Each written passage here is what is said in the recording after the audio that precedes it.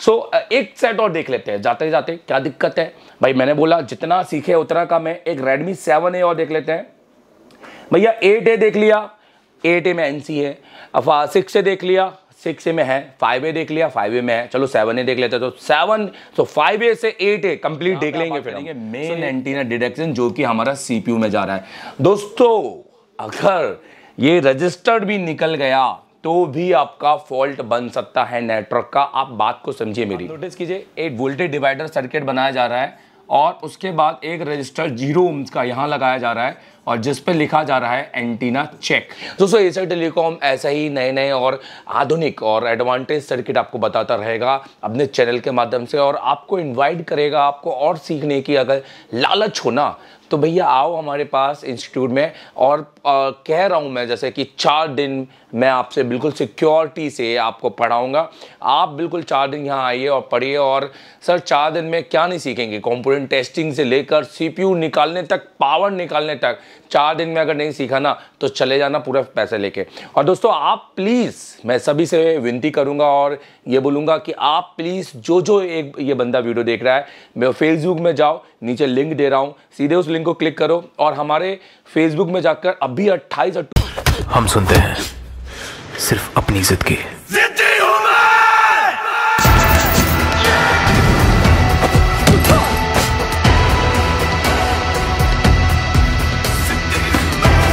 जिद है मेरा फितूर।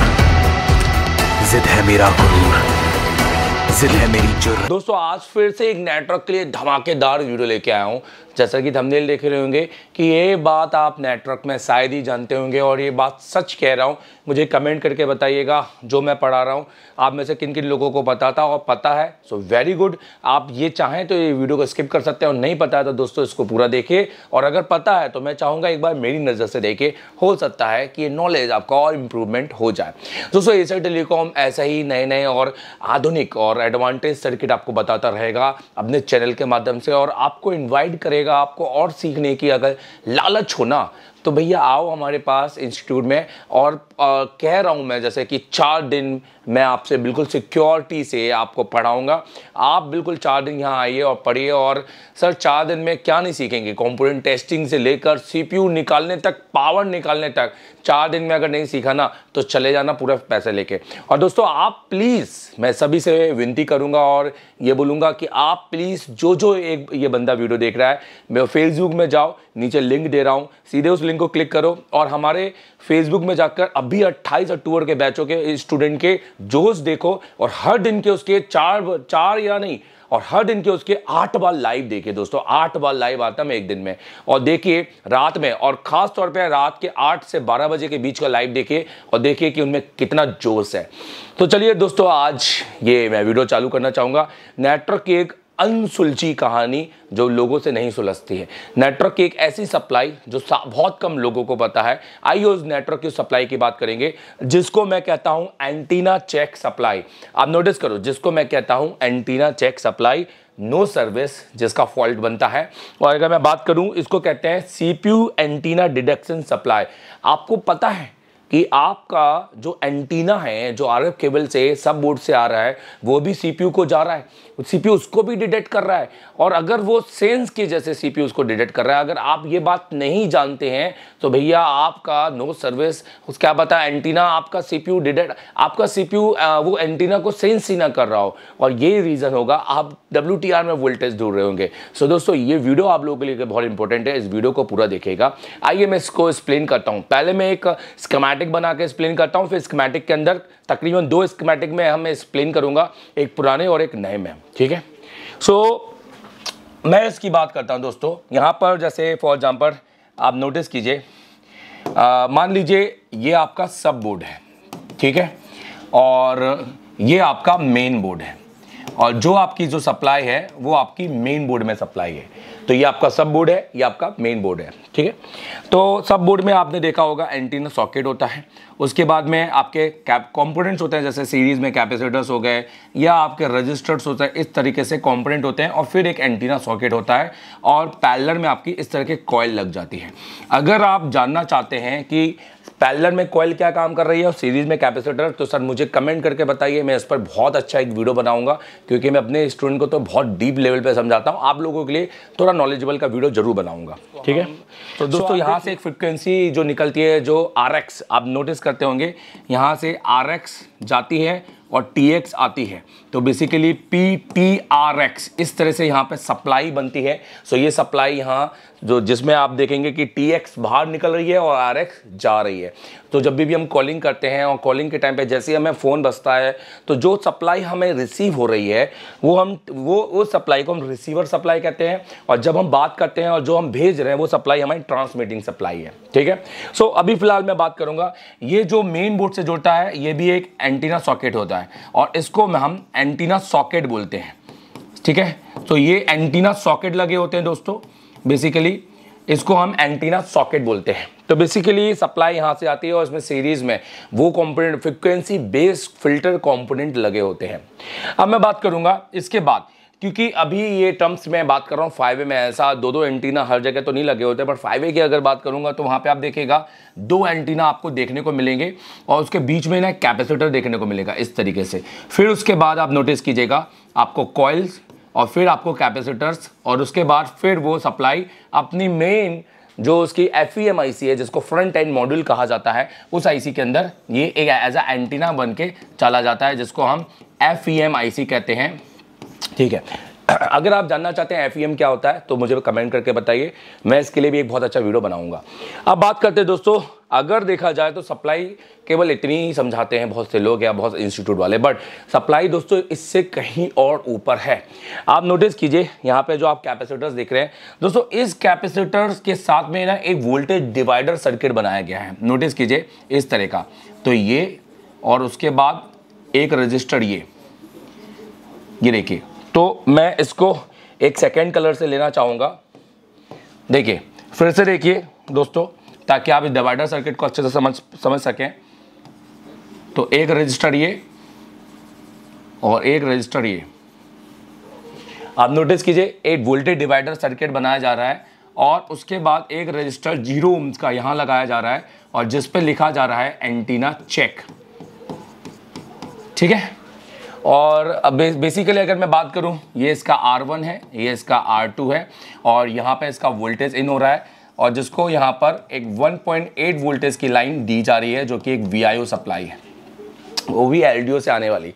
सो so, आप नोटिस करो कि जैसे ही आपका एंटीना लगता है और ये जो सप्लाई होती है इस सप्लाई को अगर हम ऑब्वियस है कि हम सब समझते हैं कि जब एंटीना लगता है या एंटीना लगाते हैं तो ये जो लाइन होती है ये लो जीआर लाइन होती है। इस पर बीप आती है पर बेसिकली एक ग्राउंड नहीं होती है। समझ में आ रहा है? अगर आप नोटिस करोगे तो ये ना एक लो जीआर लाइन है और इसमें बीप आती है, पर ये ग्राउंड नहीं है। अगर आप इसको ग्राउंड के साथ जंपर मारोगे तो ये कुछ खत्म हो जाएगी कहानी। नेटवर्क की तो ज़ीरो हो जाएगा। सो बेसिकली ये लो जीआर की वजह से एक तरह से ग्राउंड जैसा ही एक्ट करती है, पर ग्राउंड नहीं होती है। बट यहाँ पर क्योंकि फ्रिक्वेंसी चलती है ना दोस्तों तो यहाँ पर वोल्टेज नहीं चलते। इसलिए इस वाली रजिस्टर को ना इसका ग्राउंड मिलता है तो हम ये समझते हैं कि इसको एक ग्राउंड जैसा मिल रहा है। यहाँ पर ग्राउंड नहीं मिल रहा है, पर इसको लो जीआर ग्राउंड मिल रहा है, जो कि बीप के जैसा साउंड है। बीप तो साउंड देता ही है। तो यहाँ पर इसको, यहाँ पर अगर आप बोलेंगे, सर डिवाइडर रजिस्टर तो वही होता है ना जिसके एक रजिस्टर में ग्राउंड हो। तो ये इसको यहाँ पर टच हो रहा है। और दोस्तों, जैसे ही इसको ये वोल्टेज मिलता है इस रजिस्टर की बदौलत इसको कुछ वोल्टेज सेंस होता है, जो पॉइंट नाइन समथिंग कुछ वोल्टेज सेंस होता है, और ये सेंसिंग ना सीपीयू को जाता है। अब सीपीयू को जैसे ये वोल्टेज मिलता है तो सीपीयू को समझ में आता है कि एंटीना लगा हुआ है, और अब सब तरह के फ्रिक्वेंसी नेटवर्क के जितने भी सेक्शन है, उसको एक्टिवेट करना है। मतलब आप देखा जाए तो सिक्वेंस शुरू हुआ एक्चुअल में यहाँ से। और उसके बाद में फिर पीएफओ पे जाता है। पीएफओ पे डब्ल्यू पावर डिडक्शन की भी लाइन होती है, जिसके लिए मैं स्पेशली एक वीडियो बनाऊँगा कि ये पावर डिडक्शन की लाइन भी बहुत इंपॉर्टेंट होती है, जिसके अंदर एक स्विचर भी होता है।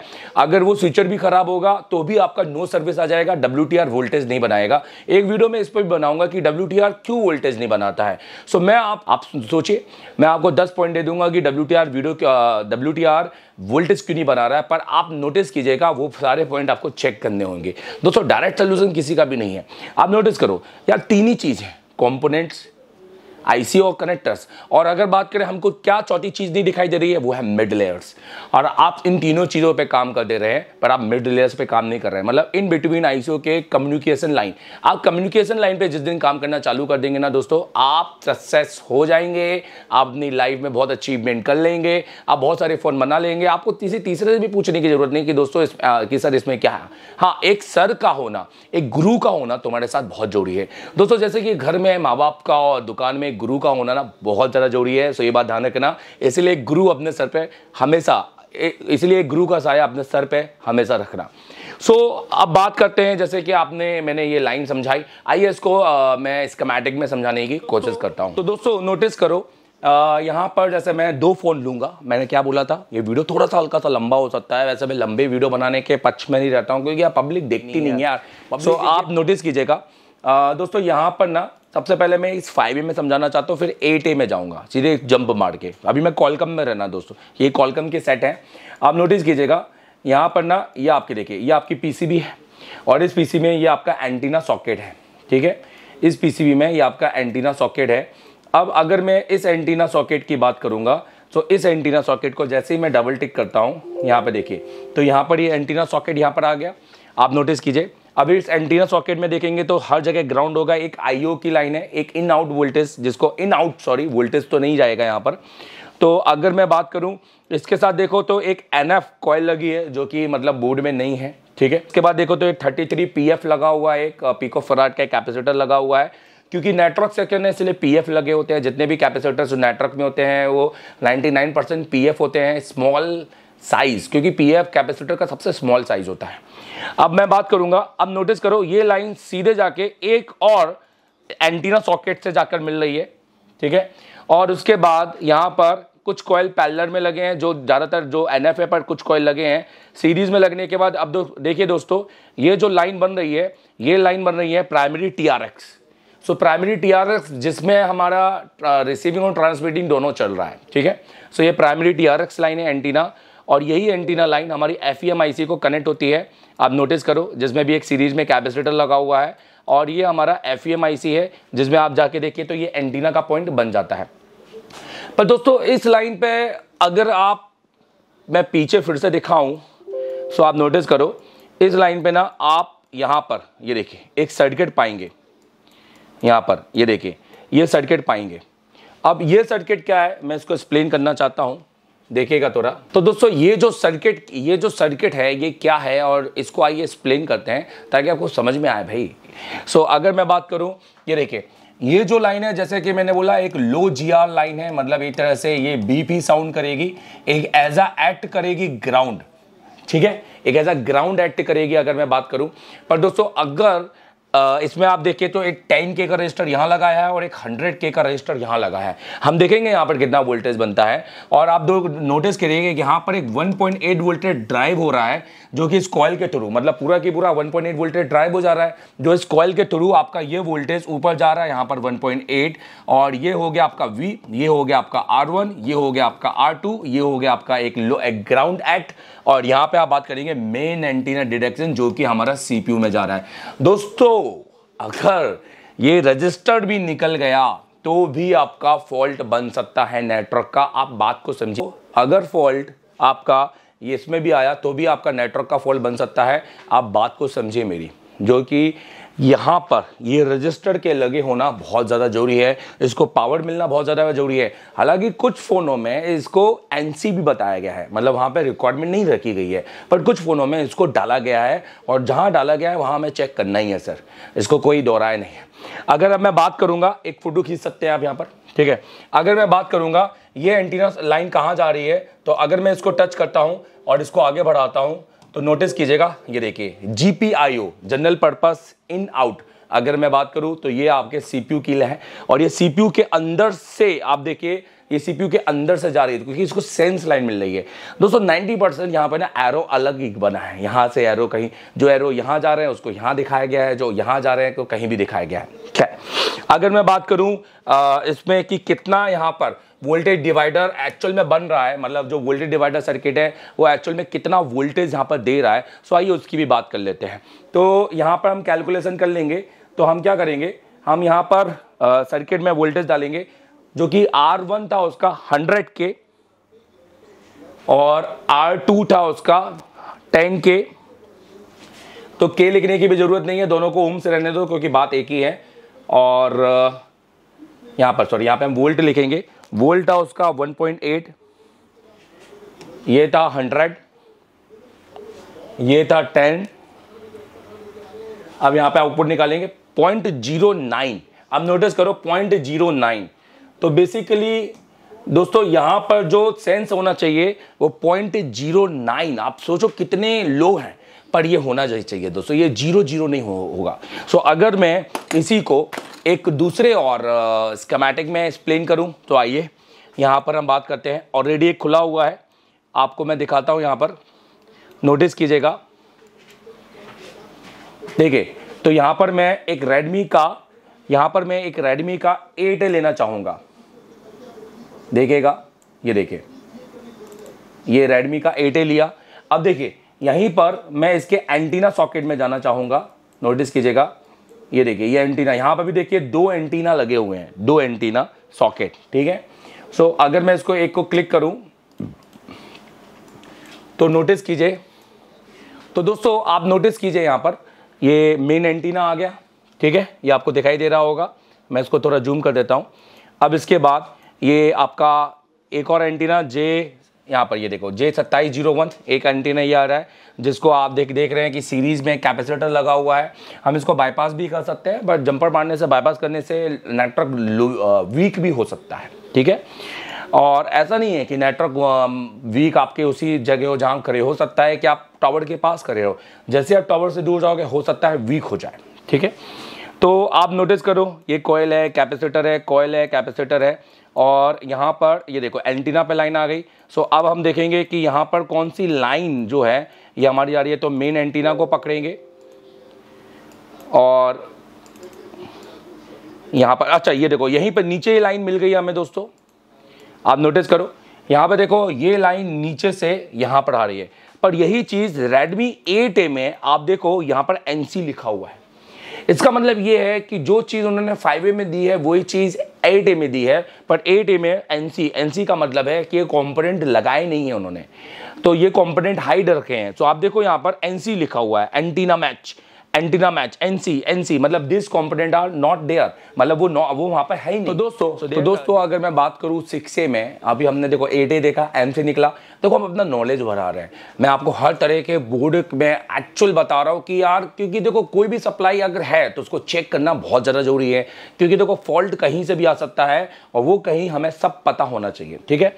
सो अगर मैं बात करूँगा इस सिक्स ए में ये मीडिया का एक प्रोसेसर है और यहाँ पर आप नोटिस करो आपको यहाँ पर एक एंटीना सॉकेट देखने को मिल रहा है, ये देखिए। तो इस एंटीना सॉकेट में जाऊँगा और यहाँ पर आप देखिए, दो, तीनों चीज़ लिखी हुई है। ये हाई मिड और लोअर बैंड तीनों है। प्राइमरी एंटीना दिखाई दे रहा है। एक सीरीज़ में कैपेसिटर है। और देखो, यहाँ पर भी आप नीचे देखो, उसके नीचे एक एंटीना एक और एक डीपीडीटी अगर हम बात करें, एक आईसी में जा रहे हैं, जो डी डीपीडीटी आईसी है, जिसके बारे में मैं आगे एक्सप्लेन करूँगा, ये डी डीपीडीटी आईसी क्या काम करती है।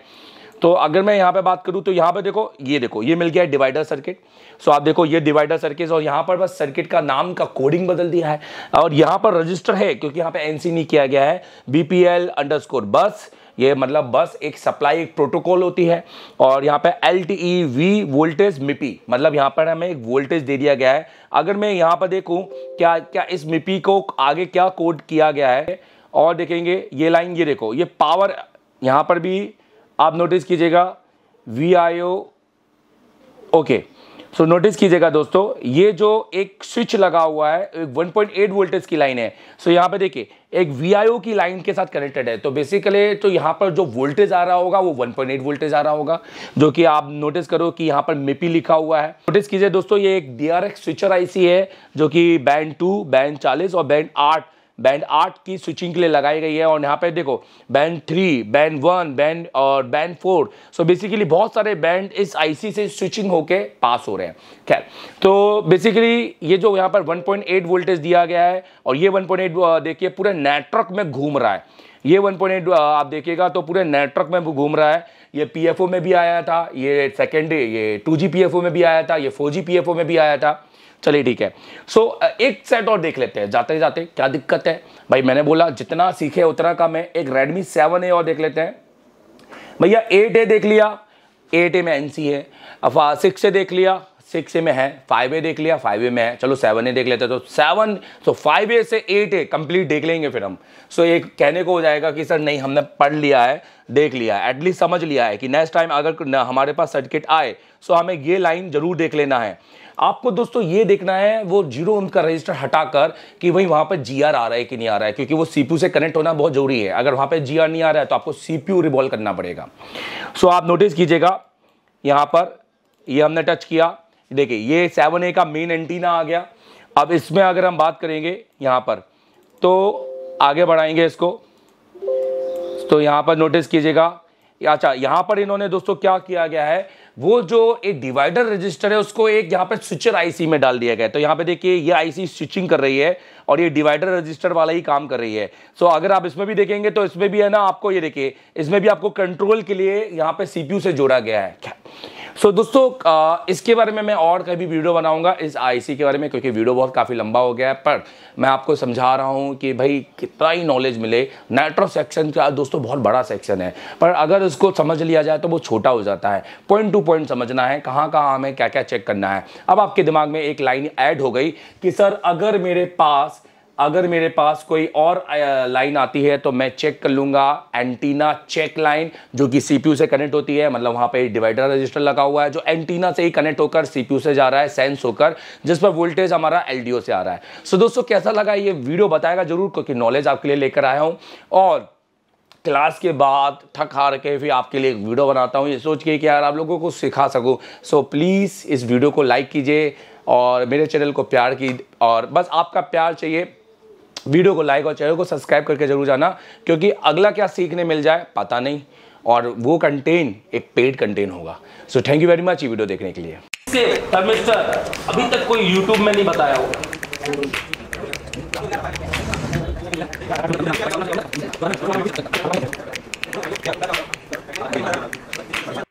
क्या नाम है आपका? संतोष। अभी आप क्या करने वाले हैं? उसका सीपो निकल रहा हूँ। कौन सा फ़ोन है ये? M I Y one Y one है जी तो अभी आप इसका सीपीयू निकालने वाले हैं।